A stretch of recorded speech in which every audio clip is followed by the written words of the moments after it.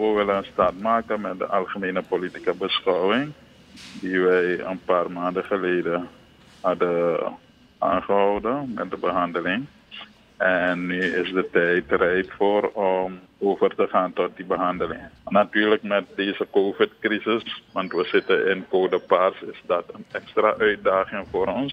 Dus als Nationale Assemblée hebben we dan een aantal voorzieningen getroffen om op een verantwoorde manier met elkaar te kunnen vergaderen. Onze focus is uh, APB, maar natuurlijk gaan we, ga ik dit voorstel leggen voorleggen aan de uh, vergadering. Natuurlijk hebben we al af, afstemming gepleegd met de fractieleiders. En, en ik denk dat we daarvoor uh, de ruimte gaan bieden.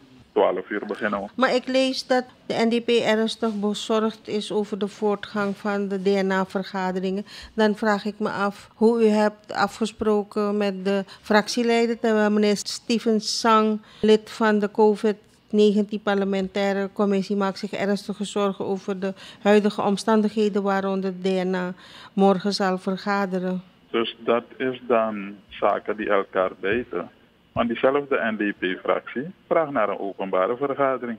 Dus ik weet niet waarover meneer Sang dan praat. Volgens meneer Sang zijn er onvoldoende veiligheidskleppen ingebouwd om op een verantwoorde en waardige wijze te participeren. En waarom had hij dat niet aan zijn fractie gezegd om geen openbare vergadering aan te vragen? Of zal dat niet het geval zijn bij het behandelen van een, die COVID-kwestie, maar bij andere zaken wel? Ik denk dat het gaat om hetzelfde vergaderen. Zo is er volgens hem nog geen duidelijkheid over de herinrichting van de vergaderzaal, zodat elk lid haar taak die zij ingevolge de grondwet heeft gehad adequaat kan vervullen. Dus uh, daarom hebben we afgesproken met de fractieleider dat we daarvoor, voor die openbare vergadering, een, een, een huishoudelijke vergadering hebben met als agendapunt te kijken naar de voorzieningen, naar de protocollen. En wanneer we met elkaar die understanding hebben, kunnen we overgaan tot die openbare vergadering.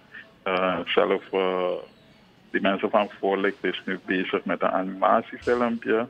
Ik heb het al uh, gezien, ik heb wat feedback gegeven samen met andere leden van de leiding. Dus die zaken gaan we voorleggen aan, het, aan de leden van de Nationale Assemblée. Dus het probleem dat ik nu heb, ik vraag me zelf af als wanneer we met de fractieleiders vergaderen de NDP-fractie die zaken die we bespreken in een fractieleideroverleg doorcommuniceren met de leden als meneer Sang deze vragen stelt.